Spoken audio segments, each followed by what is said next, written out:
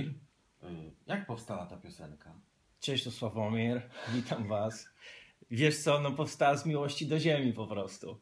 Tak chciałem mieć po prostu ten hektar, no i tyle było problemów, że to wszystko mi się ułożyło w tekst, do tego muzyka, no i moi wspaniali muzycy tutaj z Warszawy to pięknie nagrali, no i jest piosenka. A kto przychodzi na koncerty?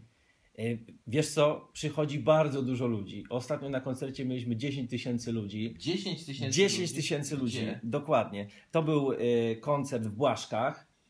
Fantastycznie zorganizowana wielka impreza z telebimami, wiesz. No naprawdę się czułem świetnie tam, jak we właściwym miejscu. Y, przychodzą na przykład na koncercie u mnie w gminie, przyszło 4 tysiące ludzi i tam było dużo młodych ludzi. Także się bawią, ale ja mam też w repertuarze e, takie piosenki też i dla starszych, więc zawsze się staram dobierać tak pod mojego widza. No chyba, że jest 10 tysięcy, to nie bardzo wiem pod kogo dobierać wtedy. Hulasz też w internecie, na fanpage'u, na stronach. Y, Za co ludzie cię kochają? Wiesz co, myślę, że daje im radość po prostu. I z tego, co mi piszą tam, że na przykład e, e, ktoś e, miał dużo pracy, ale obejrzał sobie mój film, no i musiał sobie polać i nie zrobił tego. Czytam dzisiaj w gazecie mm, antropologa kultury, który mówi tak. Widzę, że musimy solidnie przepracować to wszystko, co obecnie się dzieje. Kato konserwatywną politykę historyczną i ten niebywały powrót konserwatywnego, mitologicznego, a nawet spiskowego myślenia, narastającej ksenofobii, tego myślenia o korzeniach, wracania do ziemi. I co o tym myślisz?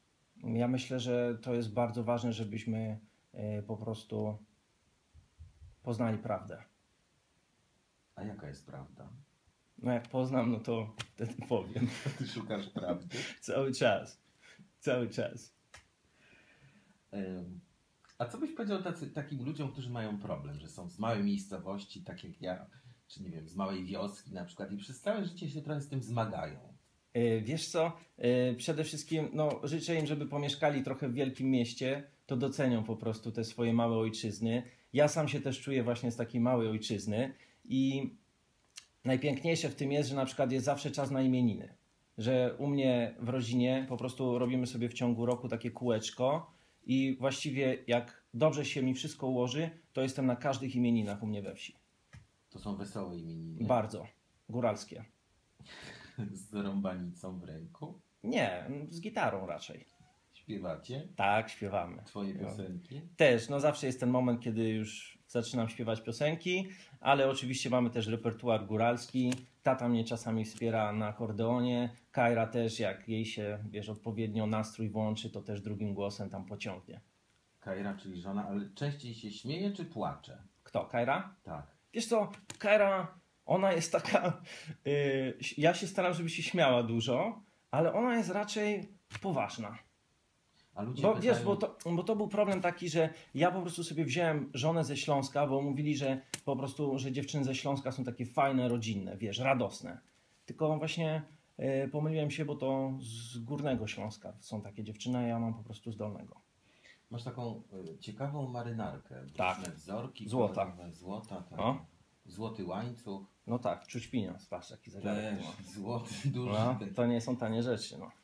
Taka obrośnięta klata też, zresztą można ją poczochrać w internecie. Ja, można, wiesz, to jest tak, że te włosy sobie tak trochę schodzą tutaj z góry i w dół sobie to idzie. Ja trochę straciłem przy tej zrywce azbestu, też mi wtedy wypadały. W Stanach. W Stanach, no. No to ciężka. Ja, jakieś, wiesz co, powinni, nie wiem, albo na perukę coś, jakieś odszkodowanie. Ja mam takie Ale- wrażenie, że trochę jakby przeginasz z tym wizerunkiem, ale jednak ludzie nie czują obciachu. Dlaczego? Ale co to znaczy przeginam? Co, nie? No, że za dużo tego. I ten złoty łańcuch, i ten złoty. Ale y, poczekaj, no łańcuszek jest bardzo zgrabny.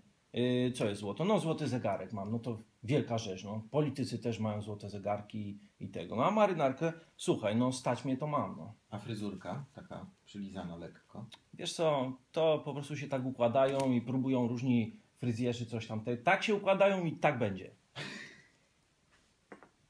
A ludzie piszą i pytają, dlaczego cię nie ma w polskim rządzie? E, powiem tak, że słuchajcie, dajcie mi jeszcze chwilę. Ja po prostu muszę się zorientować w tym wszystkim. E, muszę przede wszystkim poznać, e, jak wam tą radość tam dostarczyć.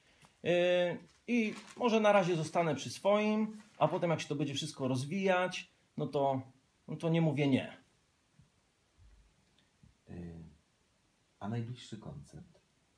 No, najbliższy koncert to już jest niedługo, 14 listopada, czyli na dniach. Wczoraj miałem próbę z chłopakami właśnie, także będą też premierowe piosenki Sławomira. Będzie e, ten koncert w Sypniewie pod Warszawą, w klubie Kapitol, także serdecznie Was zapraszam. Gramy około północy, bo jeszcze będzie gitarzysta dojeżdżał i po prostu damy piękny koncert. Wszyscy moi fani usłyszą premierowe piosenki Sławomira. Przypomnijmy pytanie, bo jest koszulka z Megierą. E, No więc pytanie jest takie, to można na fanpage'u sprawdzić, kiedy można powiedzieć, że czuć pieniądz. Poranek małpa rdc.pl. Ile osób mieści się w golfie? E, Słuchaj, no w ostatnim teledysku moim, który właśnie nakręciliśmy, pięć się zmieściło. Sławomir, I to wszyscy artyści, słuchaj. Twórca, wokalista, wizjoner. Bardzo dziękuję. Dziękuję bardzo. Cześć tu Sławomir.